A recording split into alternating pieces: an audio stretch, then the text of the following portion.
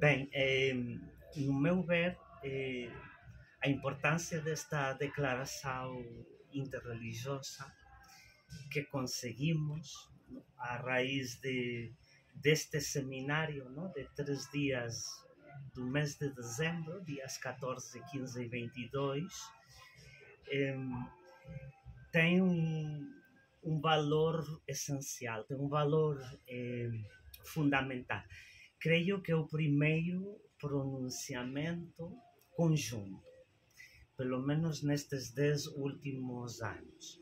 Houve um pronunciamento interreligioso há um par de anos, explicitamente contra a violência, mas não foi fruto de uma reflexão e de uma meditação e de um diálogo partilhado entre as religiões e as organizações religiosas presentes aqui em Cabo Delgado.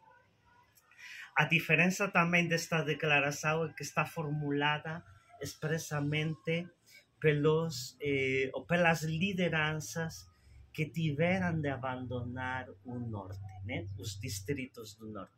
Nós insistimos neste encontro para que os, os cheques que, que chegam aqui, que chegassem, que reunissem conosco, fossem aqueles que saíam dos distritos que foram abandonados por causa dos ataques. Portanto, um, tem um valor especial.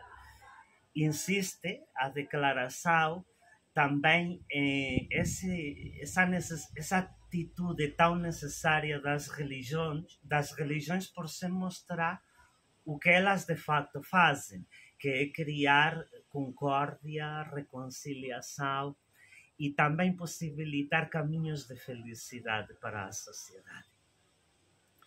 É, condena também a declaração qualquer manipulação, abuso, instrumentalização da religião.